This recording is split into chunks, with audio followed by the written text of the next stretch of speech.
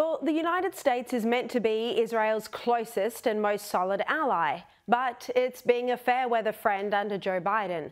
Biden has, in the past couple of days, claimed that Benjamin Netanyahu would cross a red line if he went into Rafah with a ground invasion.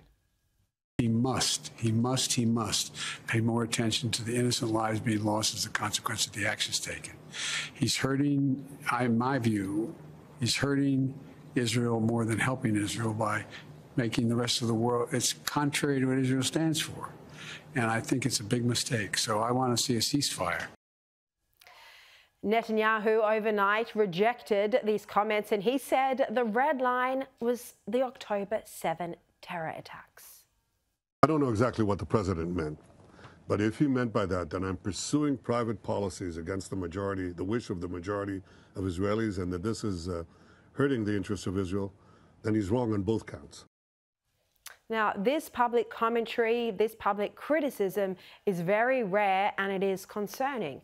As journalist Cameron Stewart points out, though, in The Australian today, Joe Biden's stance is also likely very political. He writes that Biden's growing frustration with Netanyahu reflects changing domestic opinion in the US in an election year, where polls show that around half of US voters believe Israel has gone too far in its military attacks on Gaza.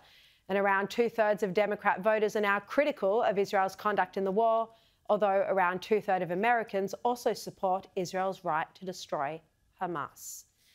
Now, Foreign Minister here in Australia, Penny Wong, today joined the fray, saying that while the world was sympathetic after October 7, now she says Israel is losing support and will continue to do so unless it changes course. Well, let's bring in now Liberal Senator and former Ambassador to Israel, David Sharma. Dave, thanks so much for your time this evening. Look, why aren't Biden and Penny. Wong making demands of Hamas instead of Israel? We always hear this constant lecturing of Israel.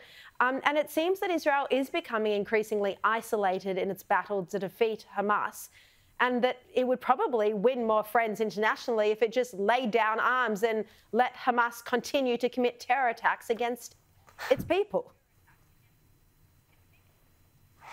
It's a very good question, Sharri. I mean, this conflict would be over within a matter of hours if Hamas released the remaining hostages and agreed to surrender or lay down its weapons uh, at the very least.